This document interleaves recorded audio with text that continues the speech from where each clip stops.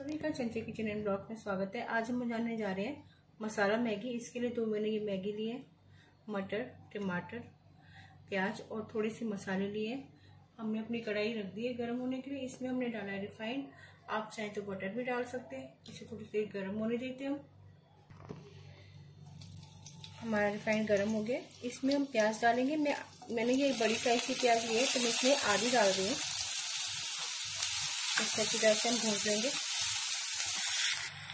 एक मिनट हो गया, एक मिनट बाद इसमें हम अपने मटर भी ऐड कर देंगे, जिससे हमारी मटर भी गल जाएगी साथ ही साथ, और इसे चलाते हुए अच्छी तरह से भूनेंगे।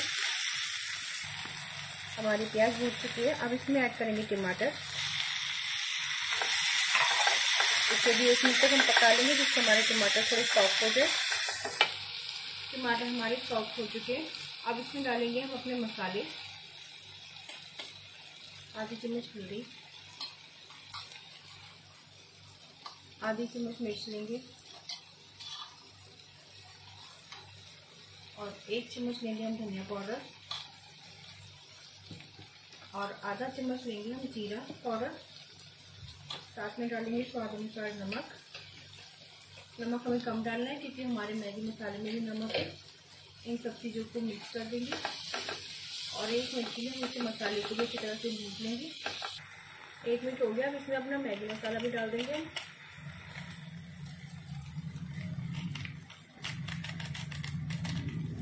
इसे भी मिक्स कर देते हैं इसमें।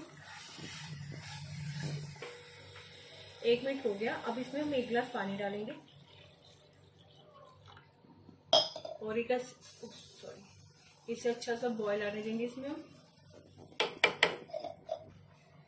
इसमें अच्छा सा बॉईल आ गया है। इसमें हम अपनी मैगी ऐड कर देंगे। इसे हल्का सा मिक्स कर देते हैं इसे। बस, एक मिनट तक हम इसे ऐसे करके पकाएँगे। एक मिनट हो गया, इसे हम इस तरीके से तोड़ते हुए इसमें अच्छी तरह से मिक्स कर देंगे।